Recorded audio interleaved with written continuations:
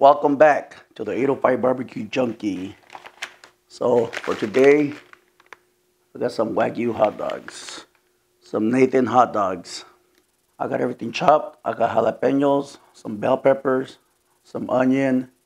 I got my Wagyu dog's ear. I got my Nathan's, some buns. Go fire up that grill.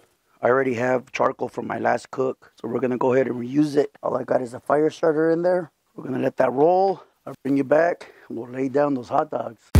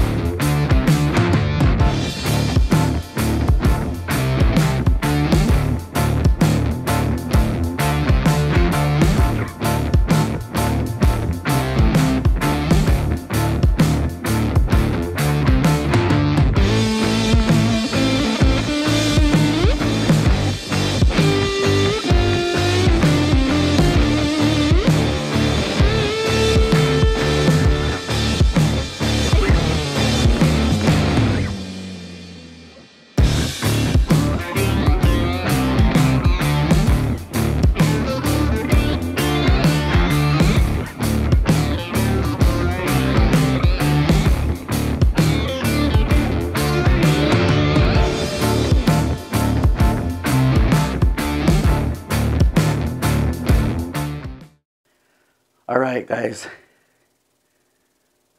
We got the Wagyu right here. Bomb, right? Then we got Nathan's. Let's go for Nathan's first. Salud.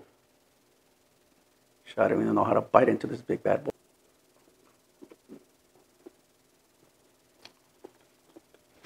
It's good. Hot dog.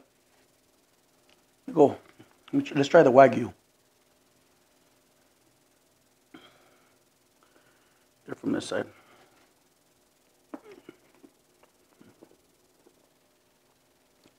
Totally different. Wagyu wins 100%. It's beefier. It's juicier. Damn, it's good. And it's a little bit on the sweet side. Damn, this is fire. This is bomb. Let's go for one more bite. The vegetables are bomb. The jalapeno, it's a little spicy, not too much.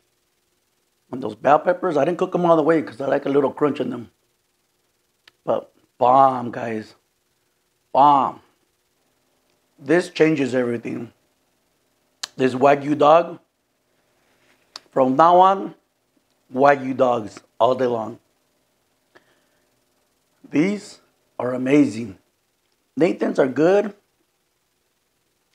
but Wagyu, hands down, guys. You guys gotta, you guys gotta buy the Wagyu. Bomb, just bomb.